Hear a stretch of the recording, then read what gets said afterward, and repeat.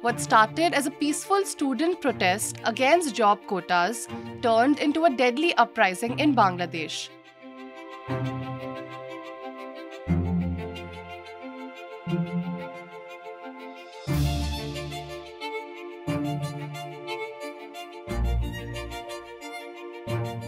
Look, uh, nobody's uh, uh, saying that just remove the whole quota system or nobody is asking for that. Not even the the student protesters those who were involved with this protest. Uh, they want reform of, uh, of this uh, quota system. You know the bangladesh has um, you know kind of frustration nowadays because of the uh, democratic backsliding of course uh, um, the shrinking freedom of expression and so many things.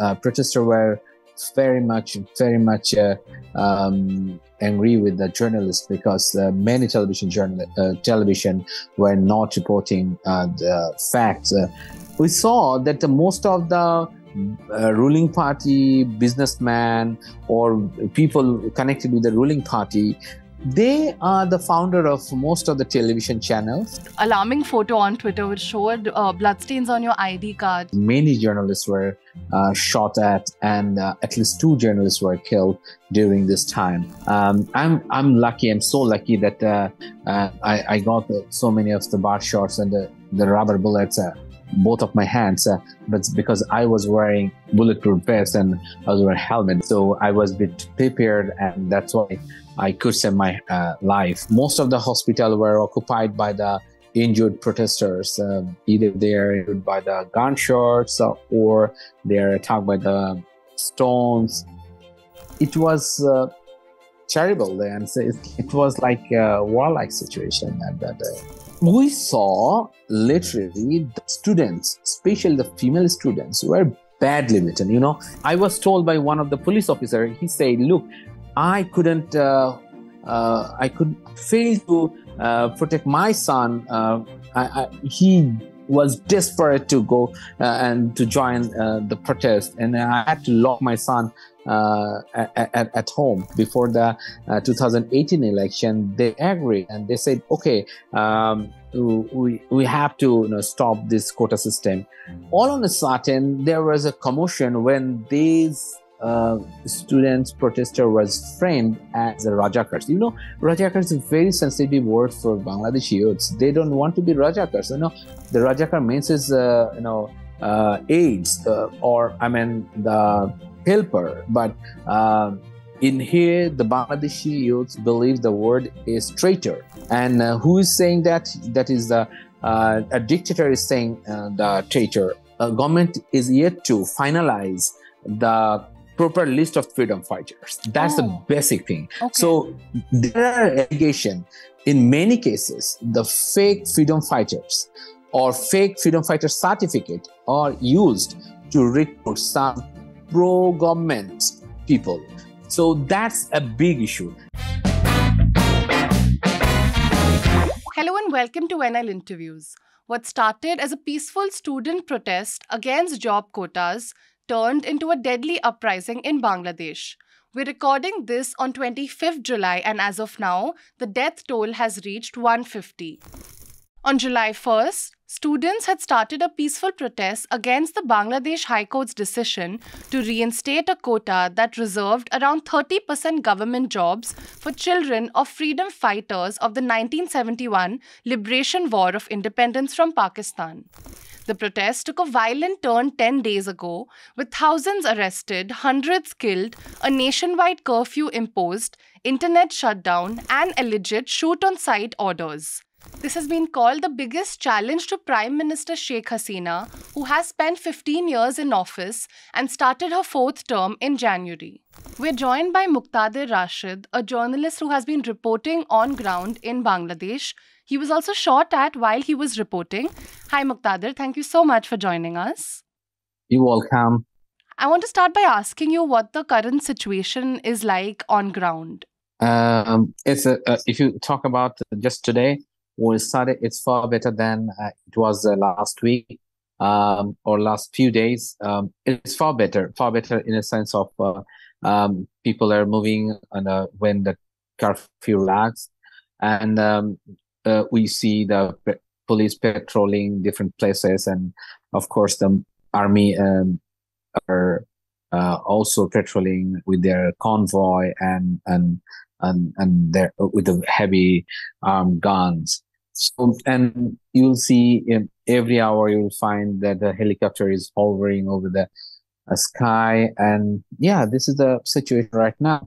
I would not say it's a warlike situation, but it's a more or less situation It's very tense, and uh, um, people are mostly talking about uh, the what happened last few days because it was internet blockade, and we are uh, absolutely cut off uh, from the rest of the world.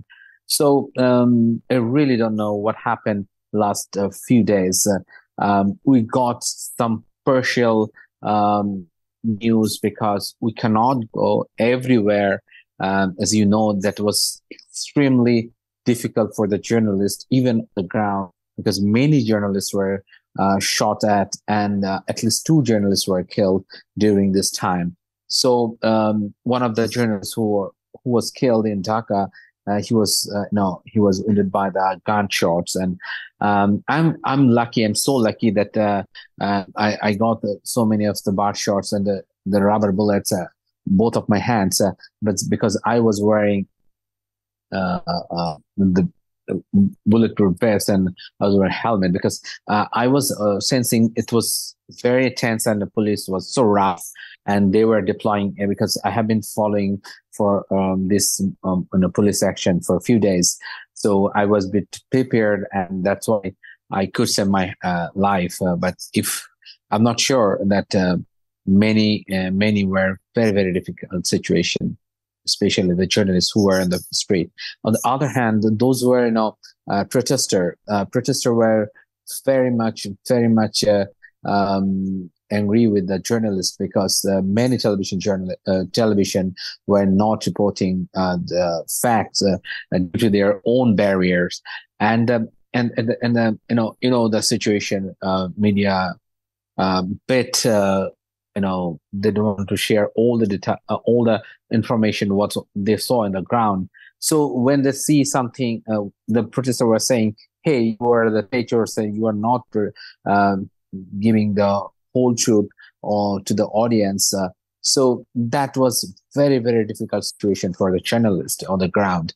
On the other hand, the journalists who were um, covering, um, they had to be very cautious.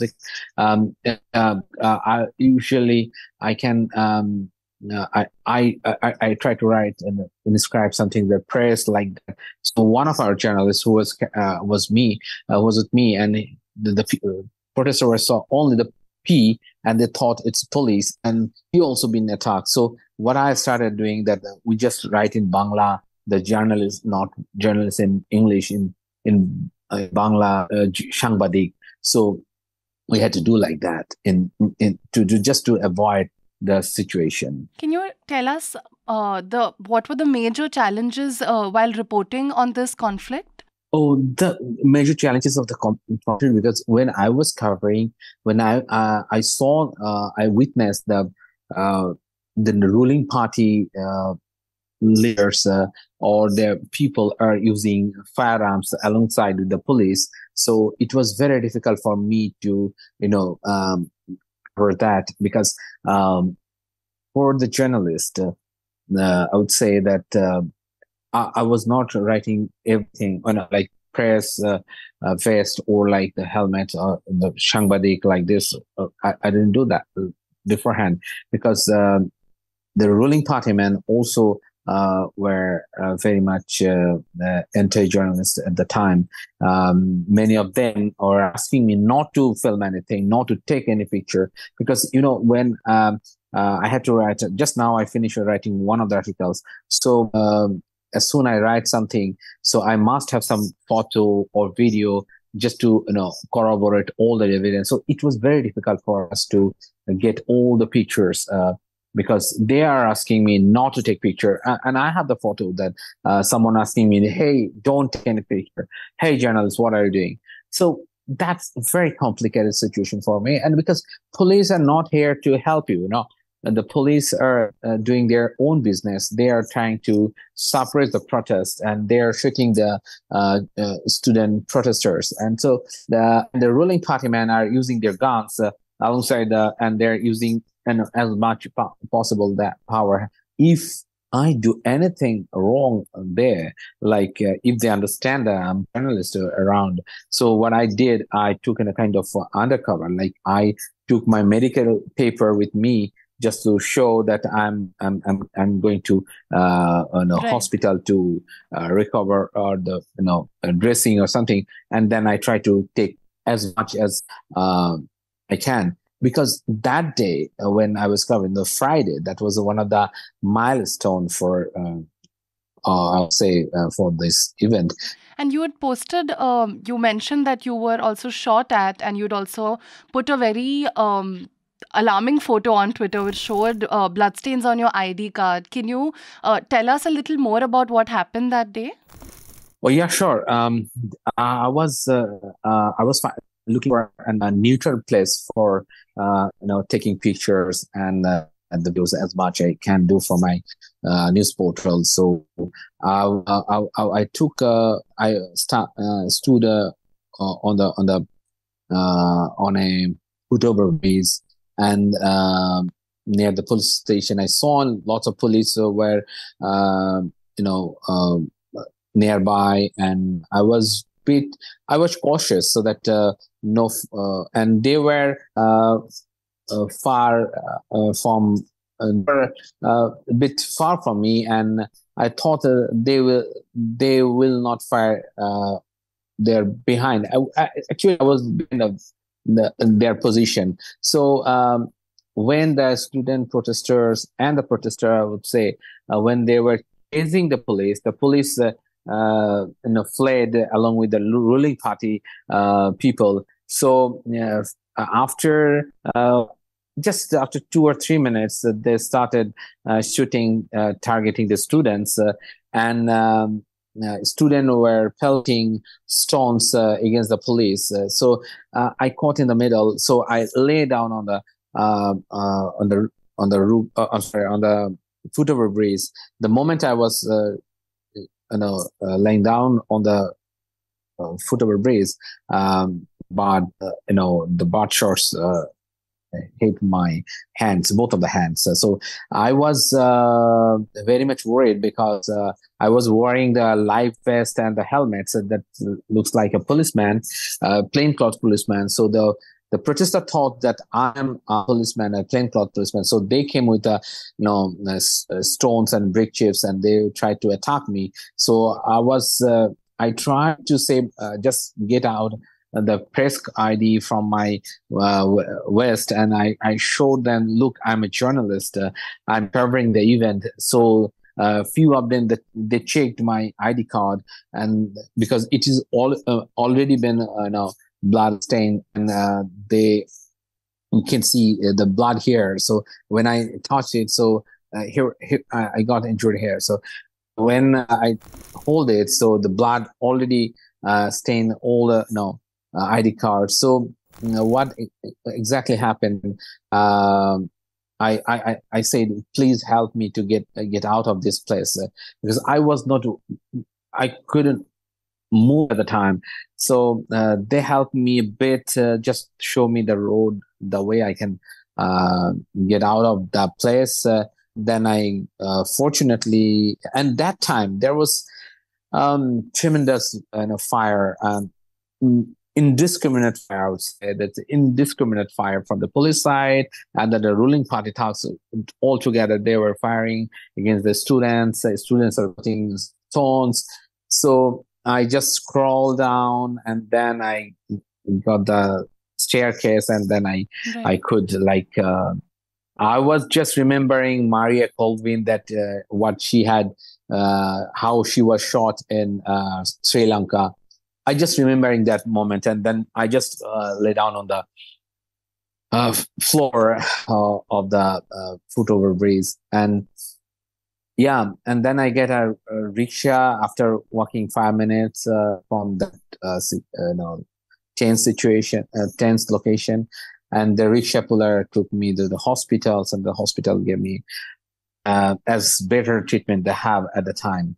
So most of the hospital were occupied by the injured protesters. Uh, either they're injured by the gunshots uh, or they're attacked by the stones. Um, it was uh, terrible then. So it, it was like a warlike situation at Yeah. that day.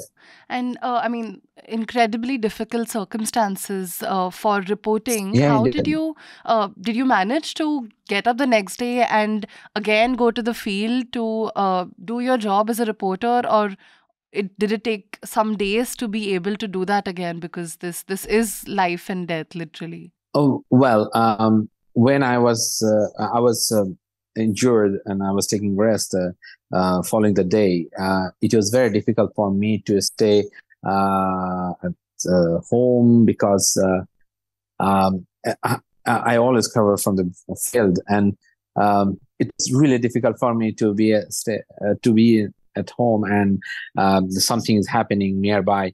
So uh, I was trying to you know. I, I, I tried to call every contact I have around, uh, you know, those who were in the, uh, those those who were on the field on that day. They were saying, look, uh, the ruling party people uh, came with the, uh, you know, rifle uh, the, with the with the firearms, and they were shooting at the people. And the police were, you know, um, attacking at the same time. People were, you know, it. That was tremendous, unbelievable situation. So um, I, my wife, uh, she, uh, I, I was uh, about to about to leave the my home and said, "Look, I, I have to see what is going on the field." So uh, she was with me, uh, and uh, she escorted me, in fact, to uh, hospital so that we can say, "Yes, we are going to hospital Right. to take medicine or Wow. dressing." So basically, I went there to ask how many patients uh, were admitted Ah, on the day and uh, how many of them had you know kind of because Right. i was hearing that at least two uh, people were killed and at, at that location and they were taken to that hospital that is al hilal hospital. Right. so i went that hospital just to verify the information and i found nobody is there. And then i asked how many? And then, then they found that i am also uh, somewhat injured. So they give me a free dressing and say look don't worry you will get a free medicine medication here um, many of them they said they treated more than 70 uh, bullet injured uh, you know patient uh, at that day uh, in, a, in, a span of three or uh, four hours Uh, I just want to get to the root of the clashes that took place, which uh, was the reinstation of the quota for um, children of freedom fighters of the 1971 war. So the protest started on July 1st, but they took a violent turn, I believe, around uh, 8 to 10 days ago. What caused this escalation? Can you take us through that?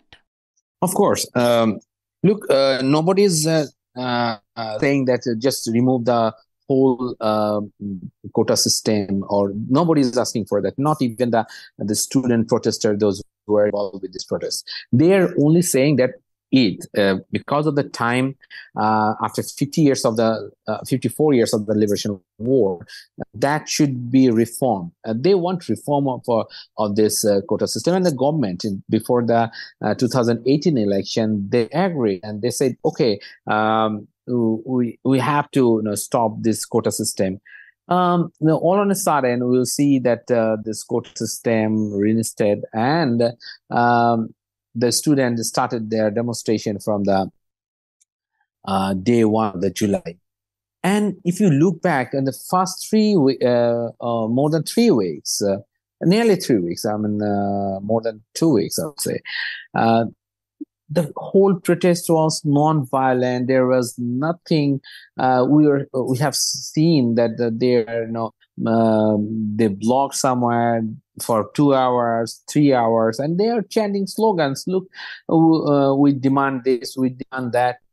So all on a sudden, there was a commotion when these uh, students protester was framed as a Rajakars. You know, Rajakars is a very sensitive word for Bangladeshi youths. They don't Yeah. want to be Rajakars. You know, uh, this that means you know the literally the Rajakar means is uh, you know uh, aides uh, or I mean the helper, but um, in here the Bangladeshi youths believe the word is traitor. So when I ask a uh, man is a traitor, it it's it's it's horrible. So um, when this uh, the head of the uh, government or the influential people of the government say, "Hey, you are a traitor," or uh, not directly, indirectly mentioned, then then it was so pathetic for the students, and then the students said, "Okay, uh, I, we are uh, the."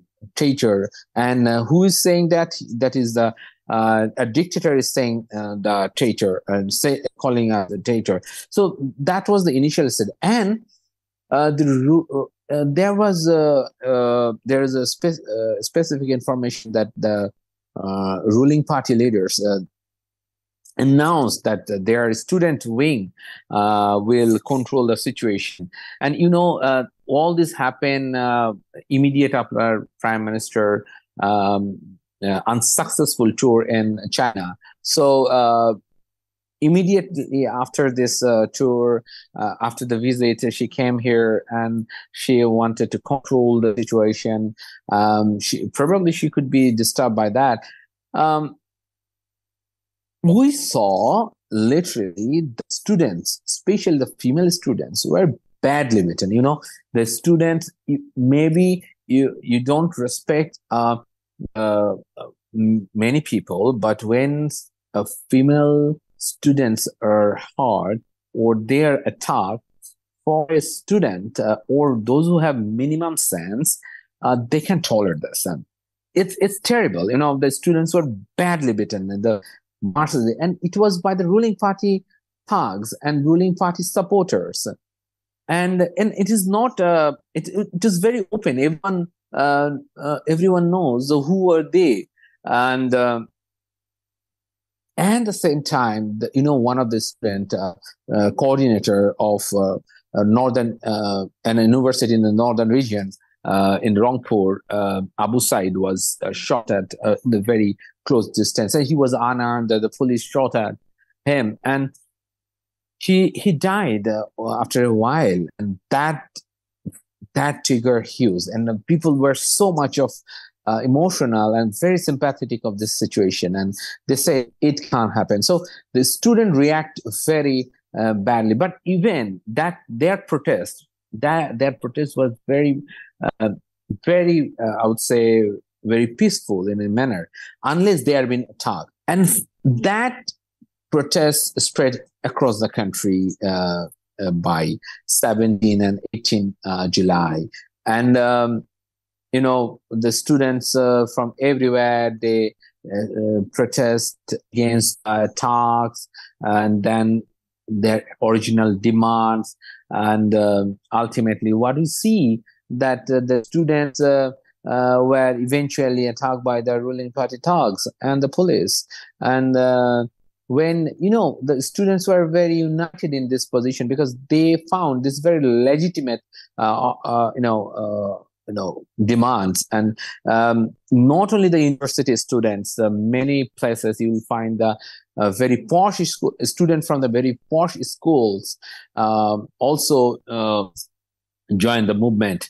And i was told by one of the police officer he said look i couldn't uh, I could fail to uh, protect my son. Uh, I, I, he was desperate to go uh, and to join uh, the protest, and I had to lock my son uh, at, at, home. Yeah. So that was the situation. No, right. the because they thought the students were attacked because of their um, legitimate demand. So they reacted badly. And you know, the Bangladesh has, uh, you know, kind of frustration nowadays because of the uh, democratic backsliding, of course, uh, um, the shrinking freedom of expression, and so many things. So all these things, I would say, uh, came together among the students, and the student reacted um, as can. Right. And uh, is it also widely perceived that this uh, the quota for the descendants of the freedom fighters would largely benefit the children of pro-government groups that uh, do support Prime Minister Sheikh Hasina's party traditionally? Uh, I would not say. I would not. Okay. Uh, I'll not agree with this. Uh, Okay. I'll not agree with this because you, if you, uh, uh, I would say, I'll explain you. It's it's very very because I'm investigating one of the case uh, similarly. Look, I I have the quota. I have the quota. Uh, I'm not supporting this because of my family. Uh, we have the freedom fighter certificate. My uh, uh, grandfather and Right. I. I will enjoy. My father was uh, pro government people, but look, I'm not supporting this. I'm not supporting this uh, quota system Yeah. um, because I I believe whether it is legitimate or not. And um, look, this is another option. What we see, the government has uh, government is yet to finalize the proper list of freedom fighters. That's Oh. the basic thing. Okay. So there are allegations in many cases the fake freedom fighters or fake freedom fighter certificate are used Hmm. to recruit some pro-government people. Okay. So that's a big issue. Right. And do you believe this to be uh, the biggest challenge for Sheikh Hasina's rule of the last three decades?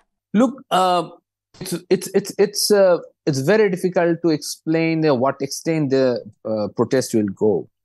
But I can what I can say. I say uh, people um, now more daring than they were uh, five years ago. Okay.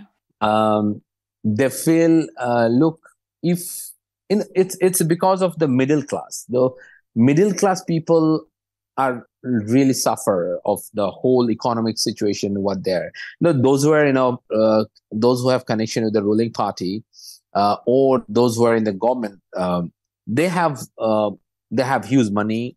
Most of them are using uh, uh, lux- uh, they have the luxurious life. Um, on the other hand, the middle class, like us, we are having very struggling lives. So most of the middle class people who are studying in the public university, those who are go- looking for the government job, they're suffering. So they reacted truly. They they, they feel, look, we have to. Uh, if we don't, their ambition is to stay. Uh, the country to build a country they're more uh, they have the notion of the patriotism so they try to stay here but they're frustrated because Hmm. of the inflation Right. they, because of the uh, unemployment rate and most of the data what government has shared about that uh, unemployment or the export import data those are now found more more and more and more faulty Okay. so the people, uh, and especially the middle class, are very much, uh, and lower middle class are very much frustrated because of this situation. So if you co-join everything, the student who uh, survive by you know giving tuition uh, to the students uh, or their uh, family to maintain family, um, he- uh, he or she needs to uh, do moon- moonlighting Hmm. for for these families uh, you just imagine about their Yeah. suffering so they are, are not in the good position Right. so they definitely will they definitely will react and i don't know how because now all the situation uh, i will not say like uh, sri lanka but uh, after the uh, 200 killings uh, that is widespread even I, I spoke to a policeman today that he said look uh, we are really ashamed of thing uh, of this situation because um, we are not responsible for everything. Um, it's very difficult, and uh, I don't think the police is morally high, uh, morally high at this point, and uh, and how long the army will stay. Uh, and what would be the situation in coming days? Right. And clearly there is job anxiety, like you mentioned, for uh, the you know the situation to reach this level that the protests initially started with the situation on government the quota for government jobs right? So uh, is there really that much anxiety over jobs and uh, unemployment in bangladesh? Is that a major issue? Of course people are you know look people are really struggling for their job Yeah. you know. Not only the pay scale are getting, other than the government official or government service, or uh, people work, uh, you know, uh, are employed with the UN or international organization. Yeah. Or the garments industry. Most of you see the if you a few months ago, uh, if you look the data, the number of uh, YouTuber uh, is now skyrocketing. Is why most of them trying to get alternative option to get a bit you know uh, money there I, I, spoke to a, a top uh, ruling party leaders in northern area and he was saying look every day more than 100 uh, family member came to me and uh, they beg for a job how can i give them job uh, at least 90% uh, of them look for a job I can provide them jobs. So I I try to introduce some freelancing offshore. I try to give them some training. But how long I can manage yeah. unless there is you know big investment, unless there is you know uh, big factories and yeah. other thing. So I can't manage everything. I can right. every people's happy. And if if you if you look to the statistics, how many people are leaving country for the abroad for a job, you see the you just see the statistics of how many youths, especially the, at the age of uh, 18 to uh, 25, they are dying on the Mediterranean Sea um, when they are crossing uh, uh the Mediterranean towards the Italy. It, this all the uh, scenario, and you know, the government has safety net as uh, India Modi government has introduced uh, lots of nets for the other caste or overseas. But here, Bangladesh government also introduced lots of safety nets for the you know marginalized people uh, and and the poor section of the uh, community. But middle class, what do what do they have? Yeah, we don't have anything. We have to earn our bread every day. We have to think about this, and uh, nowadays we have to spend huge money almost uh, 20% of our uh, no, expenditure we had to spend for our medication because of the uh, food quality uh, uh, and and and, uh, and the environment pollution and other things. So middle class are really really suffering in, in in the suffering. So um, this all the thing it's it's in of course it is interrelated. Of right. course interrelated. And I see who are the students these are the students because those who are the affluent people those who have money. They try to send their kids uh, to the you know boarding school yeah. abroad or the luxury school in the country. They will not join this protest because they don't care about this government job. They have money they will set up their business uh, either in bangladesh or uh, europe or usa so they don't care about uh, our situation because that's the terrible situation for the middle class the lower middle class and we have no place to go. Muktadir, can you also tell us about the uh, two journalists who were killed in the clashes? Yeah, of course. Uh, one of the journalists who were killed in the Jatrabari area. Uh, we have seen the photo because uh, I was not at, uh, at that at, at that uh, um, place at that yeah. night because um, he was covering for a, a small news outlet and he was shot on, on his chest and um, it's so pathetic because um, he had a kid for at least five or seven months. And um, yeah he he was basically brought to Med- Dhaka Medical College at night and uh, later we identified uh, through their colleagues. And I don't know whether the family would but how they will survive um, yeah. in, in, in, in coming days. And another journalist uh, who was killed in the Sylhet uh, was the Sylhet region, and he was also covering the protest. Uh, and uh, I don't know uh, whether because you know uh, most of the newspaper or the media house hardly care when their colleagues or journalists are being injured uh, though I'm fortunate right now because uh, my all expenses will be covered by the, my uh, editor immediately after um, Right. The incident, my editor called me. He sent uh, his uh, man and said, "Okay, don't worry. Uh, we'll spend just spend as much you can. Uh, so don't worry about this. We'll cover it up." Uh, but I don't think it happened with every news uh, portal or news organization. for Prothom Alo Daily Star, they can afford this. I don't know what about many other newspaper or television channels or especially when they get a you know um, uh, serious injuries. So you had mentioned that uh, some organizations covered the protests in a very different way, in a very non-critical way, while others managed to be more critical. What is the split exactly? Is it more like uh, television channels and newspapers versus online media, or is there an, another sort of differentiator for this? Um, look, uh, what I understand your question, if I'm right, uh, television channel uh, are I, I, spoke to many television journalists uh, last few days. Uh, honestly speaking, they are many of them are very much frustrated. They say, "Look, what we see, what I know, I can't, I can't produce the copy. I, I can't produce the uh, news as okay. I see." Um, newspaper is trying to do more because I was uh, following more than 40 newspaper, both English and Bangla, and tra- they try to cover as much as possible. But uh, I don't think the television is covering because television is uh, nowadays television has wide range of uh, uh, coverage and it has also you know uh, you know localized uh, audience. So uh, for uh, many television channels, reporters said, look, um, what I saw, I can sleep for three or four nights.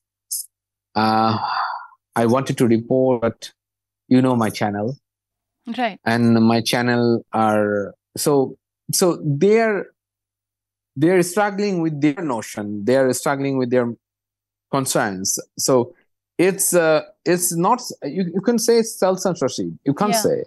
Please don't say this self censorship. This reporter is desperate uh, to report something, but he can't do. I don't know which, uh, who is doing what for this, but yeah.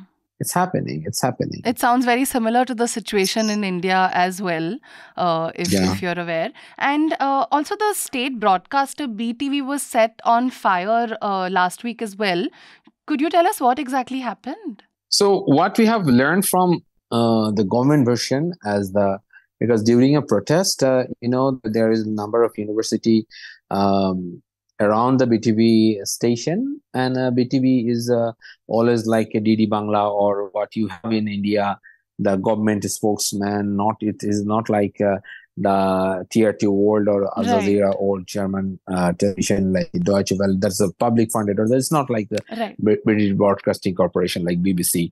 It's absolutely a propaganda machine of the ruling party. Uh, whoever is in the power. If it is in the BNP, then the BNP. And now it is uh, more uh, inclined to the ruling party because the government is, has been in power like uh, three terms. and so yeah. it become absolutely uh, uh, propaganda machinery for the ruling party.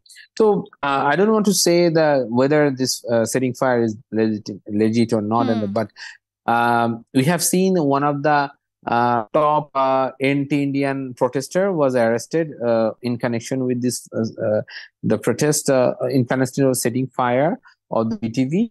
Uh, but uh, I, am not sure. I have seen any footage that he personally went into this, uh, uh you know, BTV station and he uh, set fire on the uh, the reception or any equipment. So I can't say I can comment like this as investigation right. on. But what I say, attack of on any media in any form is should know Mm, should be uh, denounced, should be denounced. You had mentioned earlier that there has been an increasing clampdown on press freedom over the last few years, and in light of that and the uh, the violent turn that these protests have taken, I just want to ask you whether it is possible to be a neutral journalist right now while while reporting in Bangladesh.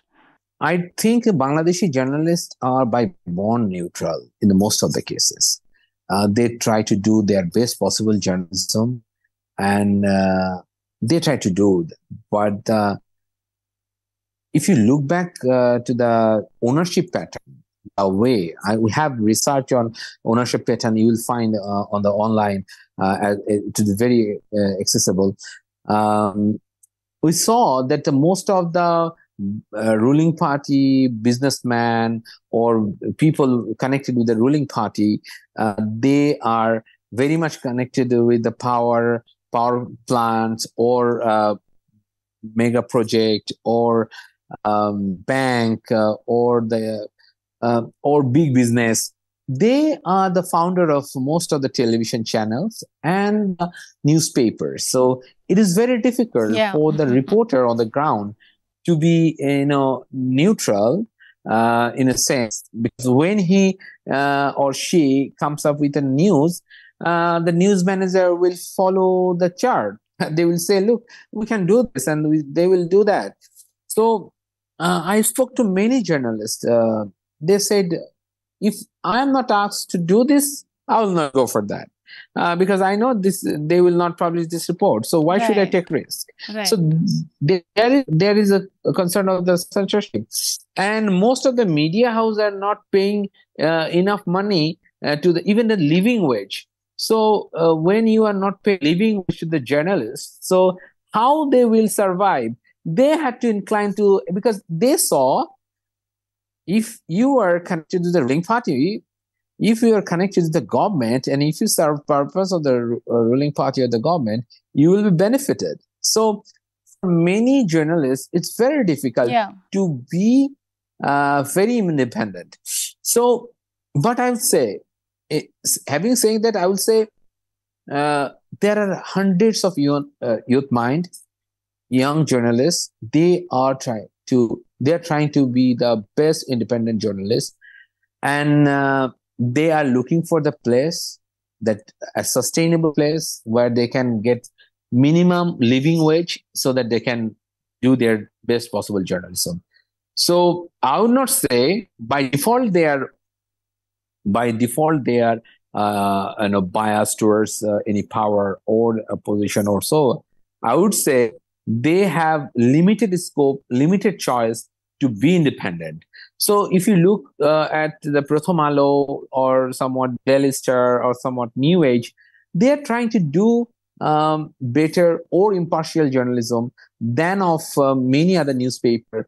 Uh, those who are either inclined to any political party or uh, any business group, and the ruling party leaders or ruling party uh, or the government official, they nowadays don't care uh, who the journalists are, yeah. who the journalist which kind of report he will produce. They just say oh well uh, which newspaper who owns this newspaper? Oh this man. I will talk to him. I, I found many uh, senior officials they said oh this uh, newspaper owned by uh, x or y don't worry i will call him. You don't need to do the report. So all um, um, many of the editor uh, can't uh, you know can't face pressure they had to go by because you know the uh, journalists are getting money here less than uh, a human hauler driver. So a large number of journalists are paying so low than of um, I would say uh, a garments worker after uh, having a master's uh, in a public university. They are getting less money than of uh, wage than of a garments worker.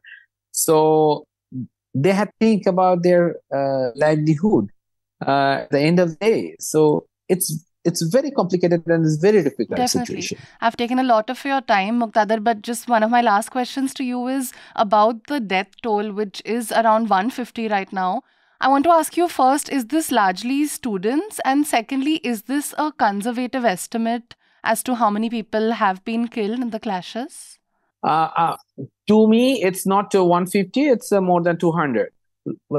Uh, it's uh, and I I spoke to the police chief. I spoke to uh, other officials. They don't say. Even I, I spoke to uh, National Human Chairman. He doesn't have any specific information about the numbers of deaths. we don't know. We we have the media report. We have Prothom tally on the death toll, and um, and uh, it's mixed. Uh, a large number of uh, uh, dead, and those were killed are. One of them, I found uh, he was shot at uh, with a live bullet, and said like I was going to uh, ask uh, where I want to. Uh, I, I, was attending in the funeral, and uh, I was shot uh, when I was uh, escaping, seeing the protest. And I don't know who who shot me because it was not from the police side, yeah. not from the. is neither from the police side nor from the protester side. So it was very complicated. So. Um, I don't know the who, who, who exact exact number, but uh, one of the data that one newspaper reported recently that uh, uh, 80% of those uh, who killed in Dhaka uh, are at the age of uh, like 18 to 25. So most of them are youth. Okay. And Muktadir, what is the current status in the sense that are the protests on a pause and are they likely to restart?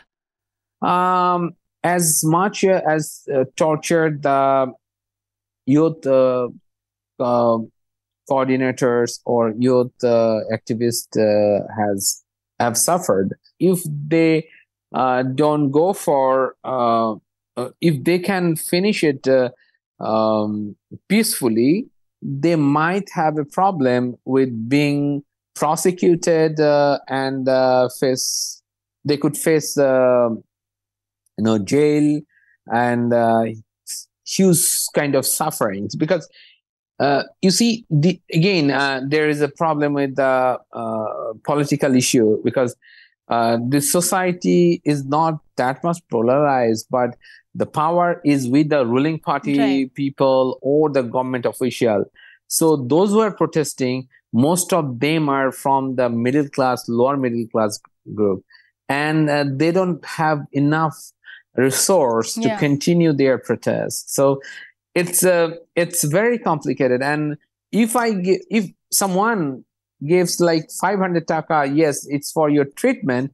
Uh, he that person uh, can be prosecuted for giving 500 taka and saying he hey you are fueling interstate uh, protest so it's a bit complicated uh, amid the growing tension among the uh, uh, among the society yeah members. Definitely. Thank you so much, Muktadir, for joining us. And we'll be continuing to read your reports and we hope for peace to return to Bangladesh soon. Thank you for that.